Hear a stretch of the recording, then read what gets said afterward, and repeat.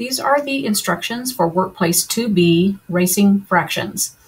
Each pair of players needs one racing fractions game board, one racing fractions record sheet, one deck of racing fractions cards, and eight blue and eight red game markers.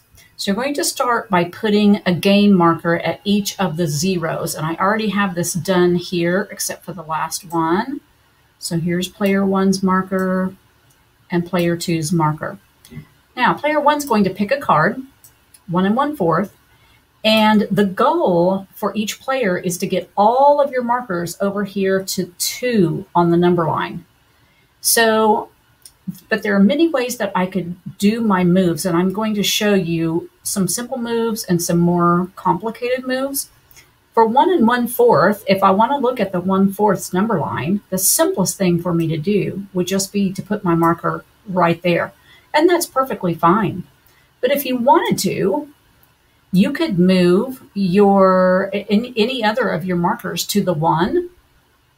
So I can split this up, in other words. I could move it to the one, and then I could move something else to the one fourth. So I could go right here and do one fourth. And if I look down the sheet here, I can also see anything that lines up perfectly with one fourth is also an option. So I could have gone to two eighths or three twelfths. So I have all these different decisions that I can make. At the beginning of the game, you won't need as many options at the end of the game. You're going to need a lot of options. As you're going along, so this person got one and one fourth. They moved uh, one. Uh, they move to a one, and they move to a one fourth.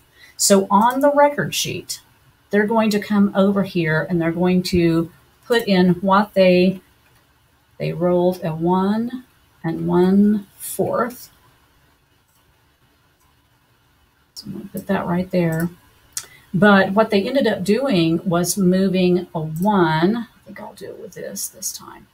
They moved a one and a one fourth. So that's really their equation. And I guess I should have altogether said that is one and one fourth. So I have my complete equation right here, and that shows how I moved the different uh, pieces on my board. So let's do another one. So player two, let's say, here's player two's card, one and two fifths. So they could make the same kinds of decisions. Let's say they decide to break it apart also and move one. Hmm, let's do this one.